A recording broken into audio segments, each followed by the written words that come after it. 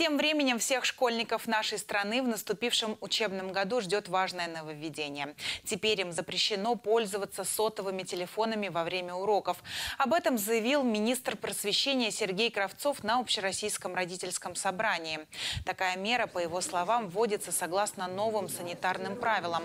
Подобное правило в образовательных учреждениях введено для того, чтобы смартфоны не отвлекали детей от занятий, объяснил министр, подчеркнув, что с родителями ученики смогут связаться во время перемены.